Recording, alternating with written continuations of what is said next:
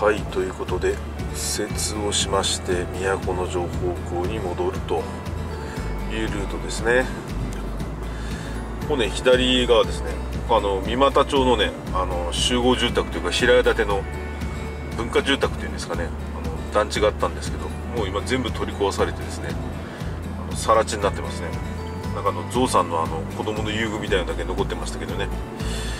またあの町営住宅とかをねあの建て替えるんじゃないかなと思いますけどね。三股町はあの人口がね結構あの多いというか都城市のベッドタウンと化しておりますのであの合併しないんですよね。あの都城市には合併しないと。あの独自路線で行くということになってますので、まあ、あの割と財政もねあの潤沢というかあの、まあ、良好じゃないかなという、まあ、それのまああの財政的なねバックアップがあるからこそあの、まあ、合併しないんだぞという感じじゃないかなないのかなと思いますね。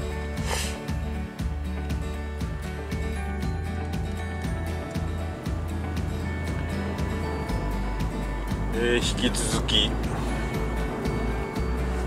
あのこれ何ていう道路かという標識がねなかなかね出ないもんですから出てないもんですから分かんないんですけどちょうどあのこれ右手に見えてきたのはあの都城東高校ですかね。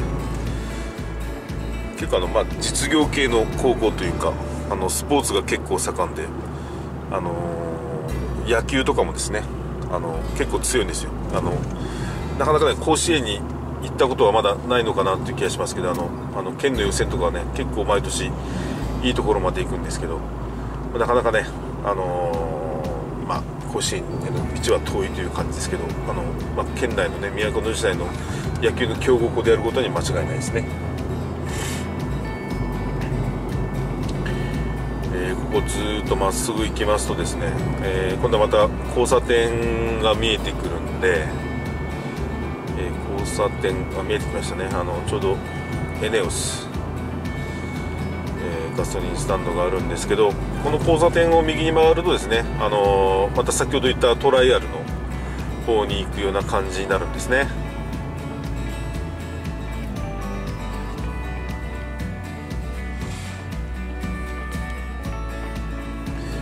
で交差点を通り過ぎますとですね、えー、今度はどんななるかというと右の方にですねあの都城市。今ここから都城市ね。右の方にあの南九州大学が見えてきますね。あの昔あの宮崎産業経営大学という大学の都城キャンパスだったんですけど、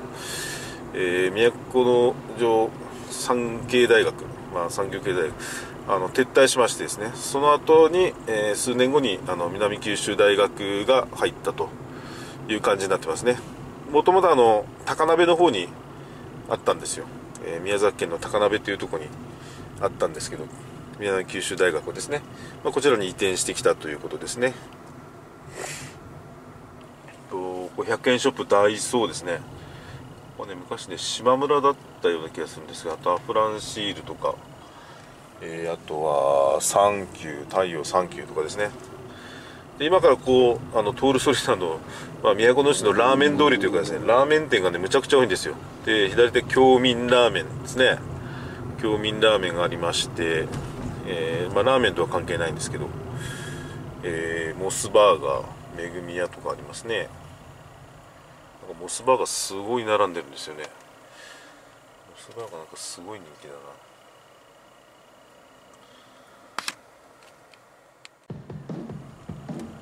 えちょうどねあのモスバーガーがすごいお客さんが多くてドライブスルー多くてちょっと車が進まなかったんで言ってますけど、えー、ここねこっちもラーメン屋後期三月後期風来軒とかありますね。手前にはケーキ屋さんの紙飛行機とかあったりしてここでねラーメン屋さん多いです。昔から多かったんですけどねラーメン屋さん多いです。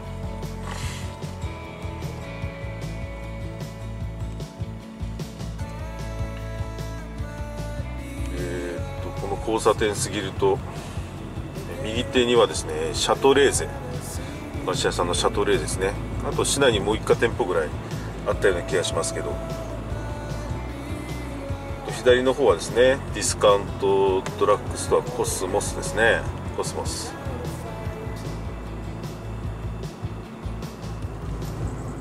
コスモスなんか多いですねなんかね。あの本当にもう固まっているような感じですね。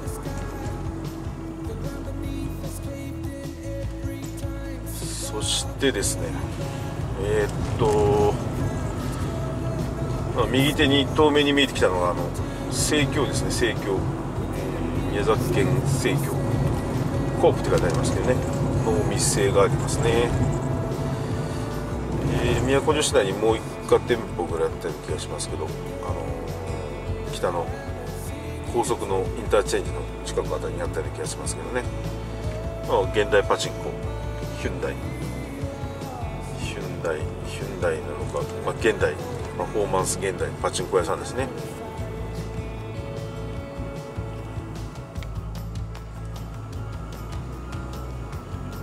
もうだいぶ、えー、都城市の方に入ってきました。で先ほど言ってたあのお肉屋さんのねもう一つのあのミートファクトリーじゃない方がミートクリエイトですね。あの営業日が限定されてるというか、えー、木金土日週末ですかね。木金土日の4日間だけ営業してる、え、ミートクリエイトですね。あのね昔はねあのサニックスの営業所だったんですよ。であの太陽光がね結構ねあのすごいにぎわってたというか盛んだった頃あのサニックスの太陽光発電やってましたからね。今もやってるんでしょうけど、まあ、結構大きな事務所だったんですけどね。右手がゲオですね、えー、ゲオの上東店ですかね。と今度は、えー、コメリ。コメリですね。コメリの上東店。結構コメリもこまめに店舗展開してますからね。割とあの偏僻なところにあったりしますコメリはですね。あのちょっと、まあ、通りが多いところであんまりね土地が値段が安いところとかそんなとこ行くんでしょうね。と、えー、左手に見えるのがたこ焼きハウスですね。たこ焼きハウスですね。美味しいです。ここたこ焼きハウス。とまた正面にあの都城警察署を見ながらの、えー、左手にドラッグストアコスモスね。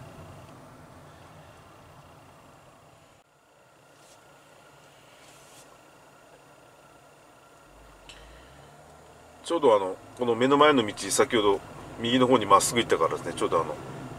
またぐるっと一周回ったような感じになりますけど。えこの左手に見えるのが都城警察署ですね。ちょうどあのちょうど入り口とかね建物の前景見えますけどね、えー、今方向的にはですね、えー、この道はあ西都城駅。あの都城駅の鹿児島側のもう一つ次の駅の西都城駅の方面に行ってますね。その前にあの広口の交差点っていうのがあってそこであの国道10号線と、まあ、交わるというか、あのまあ、突っ切りみたいな感じ横切るような感じになります。右手の方にあの立ってるマンションがサンパークマンションっていってあのこれね都城でね多分一番最初にできたねあの分譲マンションだったような記憶がありますけどね。あんまりねあの都城でねマンション買う人はあんまりいないんですよね、まあ、土地の値段が安いんでもうあのマンション買うくらいだったら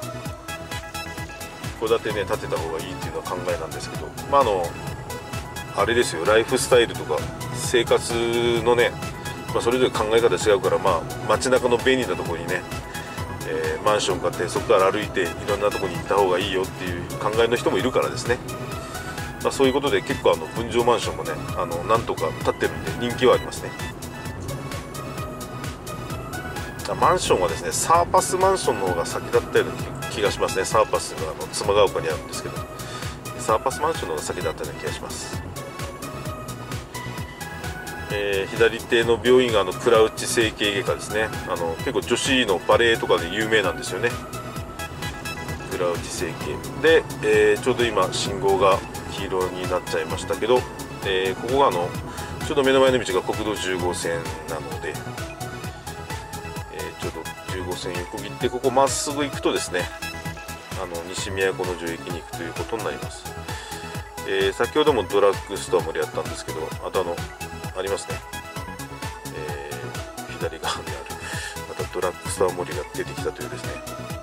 えー、名称がですねこれドラッグストア森西都城駅前店って書いあのいう名前なんですけどどう見てもねあの西都の駅からねすごく離れてるのでなんかいつも不思議に思ってたんですよね。もうめっちゃ離れてますからあの軽く5分ぐらいかかりますからね西都の駅までね。まあ今から走るので、まあ、結構距離があるということは確認できると思いますけどね。で今目の前にあるのがあこの都城合同庁舎ですね。以前あの10号線を走るバージョン、えー、10号線北進南進編で紹介したと思うんですけど、まあ、1階にハローワークとかですね2階に税務署あと法務局検察庁とかがね入っている建物になりますけど。